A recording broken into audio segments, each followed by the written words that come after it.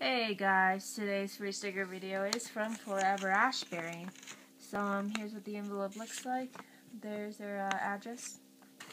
Nothing in the back. Inside we have we have a um, business card.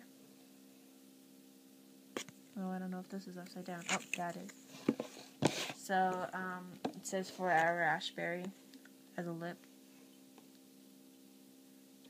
There's their um, address.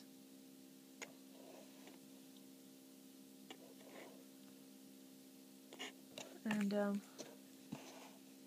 back.